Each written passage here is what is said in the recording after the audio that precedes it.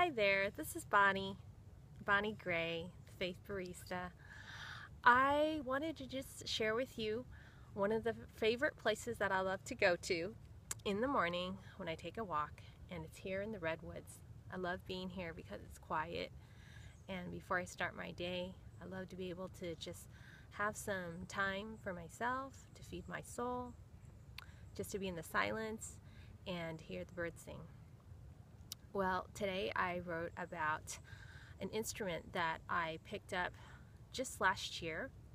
It was a time of my life where I really didn't know if I was going to get better. I mean, I knew in God's plan I would get better someday. What I'm talking about are my panic attacks. And I'd experienced some childhood memories that were very traumatic, and they started coming alive when I began writing the manuscript for my book, Finding Spiritual Whitespace. And during that time, as anybody can tell you who's been through the journey of healing, is that we don't know how long that journey will take. And when I was in the midst of it, I just thought, gosh, how long is this going to take and what will my life become if I'm so limited? I'm on my bed a lot, I'm not able to be with others that often have a lot of social anxiety during that time.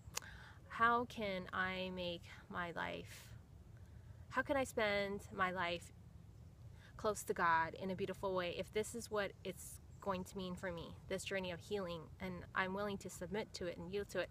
How can I make that season of my life um, of healing a more beautiful, a more restful time since I'm going to be by myself alone a lot anyhow. So I was thinking, I don't know why, but there was a time when I um, I just thought of this musical instrument called the erhu, and it's a Chinese um, violin. It has two strings, and I heard it as a child. I uh, was born in Chinatown, San Francisco, and I would always hear this music, and it's from my early childhood. And I just thought, what if I learned to play it? Um, I have all the time in the world anyhow, and I don't have really much to do. So, out of that time, I went to go find someone to teach me erhu. Er means two, and um, it's a two-string violin, two-string fiddle.